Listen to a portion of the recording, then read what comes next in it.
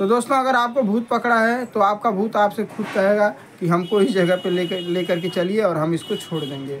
और दूसरी बात अगर दोस्तों करें तो भूत और प्रेत सिर्फ़ जो है गरीब लोगों को पकड़ते हैं, अमीर लोगों को नहीं पकड़ते कभी आपने देखा नहीं होगा कि अनिल अंबानी, ऐश्वर्या राय, कैटरीना कैफ, अमिताभ बच्चन, शाहरुख खान बड़े बड़े क्रिकेटर, इन लोगों को दोस्तों भूत क्यों नहीं पकड़ते हैं?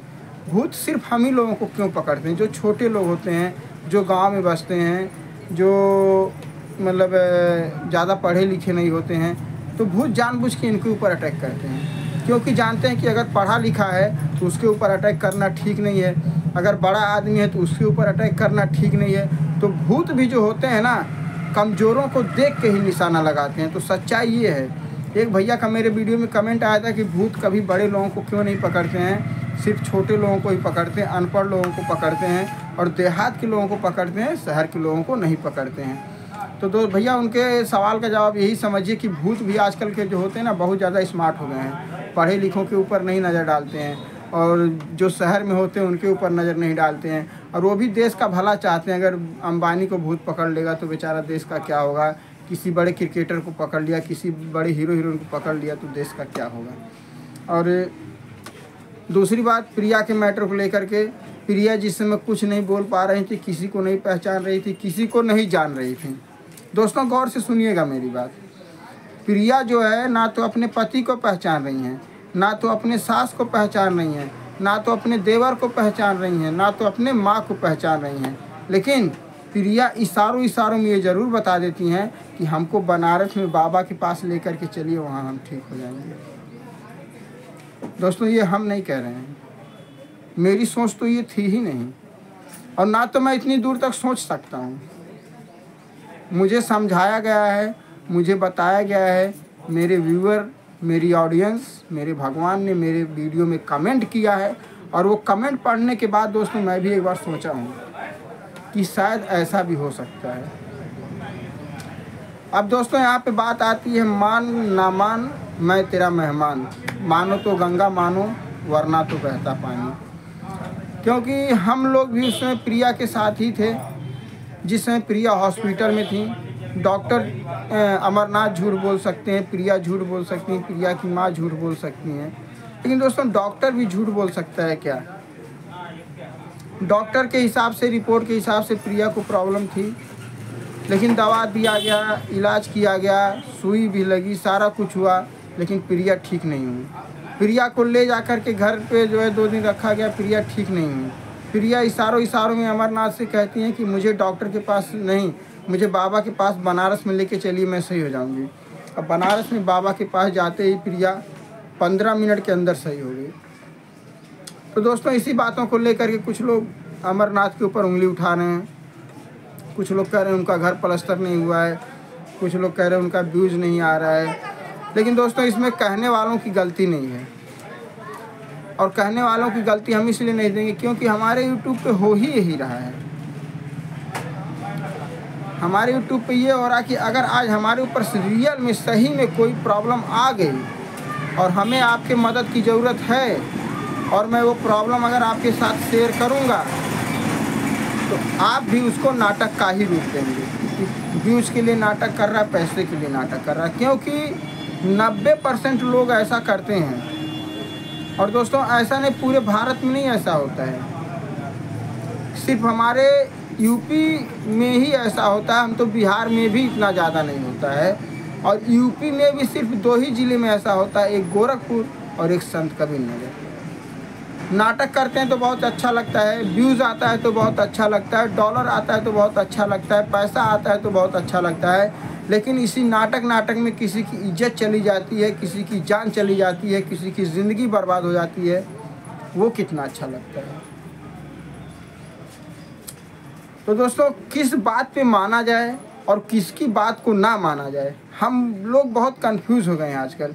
देखिए, जिससे अमरनाथ क्लोज नहीं है जिससे अमरनाथ मिले नहीं, जो अमरनाथ को जानता नहीं है। वो तो बिंदास कुछ भी बोल देगा, नाटक है, बहाना है लेकिन जो अमरनाथ को जानता है, जो उनसे मिला है, जिसको वो जानते हैं, उसको कोई बात बोलने के लिए सौ बार सोचना पड़ेगा और सच्चाई की जड़ तक जाना पड़ेगा, तब वो किसी बात की पुष्टि हंड्रेड परसेंट करेगा कि ये सत्य है या असत्य है। लेकिन दोस्तों, एक बात इतनी तो सही हम ज़रूर कहेंगे कि अमरनाथ नाटक नहीं करेगा। क्योंकि अमरनाथ को नाटक करने की कोई वजह नज़र ही नहीं आ रही है। उसकी शादी हुई, आप लोगों को पता है।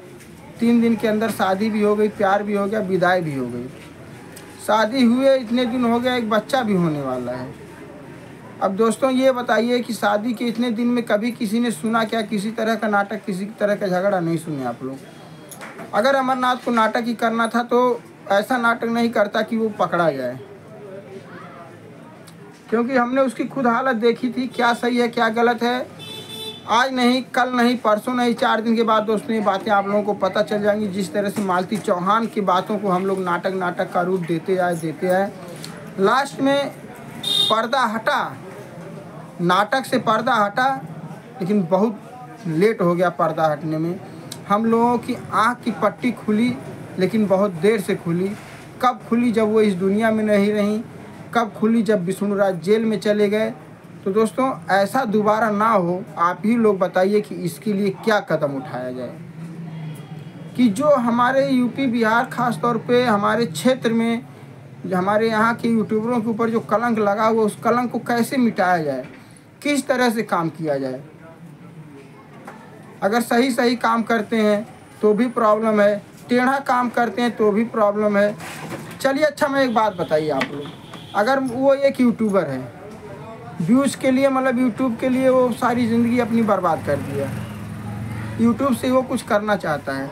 अब साधारण सा सिंपल सा घर में बैठ के वीडियो बना रहा है। व्यूज़ नहीं आ रहा है। तो थोड़ा सा अगर नाटक ही कर दिया, मैं मान लिया थोड़ा सा अगर नाटक ही कर दिया है तो ये मनोरंजन का केंद्र ही आप यहाँ मनोरंजन ही करने आए हैं ना। हमारा न्यूज़ चैनल तो नहीं है ना। हमारा ना तो न्यूज़ चैनल है, ना कुछ और है। ये हमारा इंटरटेनमेंट चैनल हम आपको इंटरटेनमेंट करेंगे। हम आपको फंसा के रखेंगे, आपको अपनी बातों में उलझा के रखेंगे। यही ना करेंगे। तो मान लीजिए उसने थोड़ा सा नाटक ही कर दिया तो क्यों लोगों की जल गई? क्योंकि उसका व्यूज़ आ गया। उसके नाटक करने से किसी की जेब से पैसा निकल के अमरनाथ के अकाउंट में जा रहा हो तो बताइए। उसके नाटक करने से किसी को अगर किसी प्रकार का नुकसान हो रहा तो हमको बताइए। ये भी ये भी तो हो सकता था कि हमारे पास पैसा नहीं है। हमको आप लोग की सपोर्ट चाहिए सर आप लोग मदद कीजिए। ऐसा नहीं बोले बहुत लोग बोलते हैं कि आ, हमको मदद कीजिए कीजिए। और दोस्तों देखिए हम कहना नहीं चाहते हैं बुरा भी लगेगा उनको। जैसे गुड़िया लक्ष्मण थोड़ी थोड़ी बात पे आप लोग मदद कीजिए ये तबीयत खराब है मेरे बच्चे का मेरी बीबी का। वो हमेशा ऐसा करता है तो इसीलिए सब पे आप लोग ऐसा कर रहे हैं। अगर देखिए जो सच अगर झूठ बोलते हैं अमरनाथ तो मैं एक ही कॉल की बोले हाँ इस जगह आप आ जाइए रुस्तमपुर। हम गए वहाँ पर डायरेक्ट मिले भी। और जैसे देखें वैसे उनकी मम्मी रोने लगी। दोस्तों तो देखिए कुछ भी आप लोग कह लीजिए कुछ भी कह लीजिए। ये है तो सच्चाई है, आप मानना ना मानना आपका काम है, क्योंकि जिस दिन अपने ऊपर पड़ती है, जिस दिन अपने परिवार का सदस्य कोई बीमार पड़ता है, कुछ ऐसी मुसीबतें आती हैं तो इंसान दवा और दुआ दोनों करता है। बस वो चाहता है कि मेरे घर से ये मुसीबत दूर हो जाए, मेरा जो मेंबर है परिवार का, उसकी बीमारी ठीक हो जाए, कैसो भी ठीक होनी चाहिए, बस। अब उंगलियाँ इसलिए उठ रही हैं कि उसको लाखों लोग जानते हैं, वो यूट्यूबर है, वो फ़ेमस है, इसलिए उंगली उठा रही हैं। उठा रहे हैं। नहीं तो ऐसे केस हर गाँव में हर घर में आपको देखने को मिलेंगे। तो चलिए दोस्तों वीडियो को ज़्यादा लंबा नहीं करेंगे। और आठ बजे आपको आप लोग को पर्सनल कुछ बात बताना है दोस्तों तो आठ बजे का ब्लॉग ब्लॉग हमारा देखिएगा ज़रूर। और आप लोग को एकदम समझ लीजिए सच्चाई। और कुछ ऐसी बातें हैं कि मैं आप लोग के सामने लेकर आऊँगी और आप लोग वीडियो ज़रूर आठ बजे देखिएगा। चलिए दोस्तों बाय बाय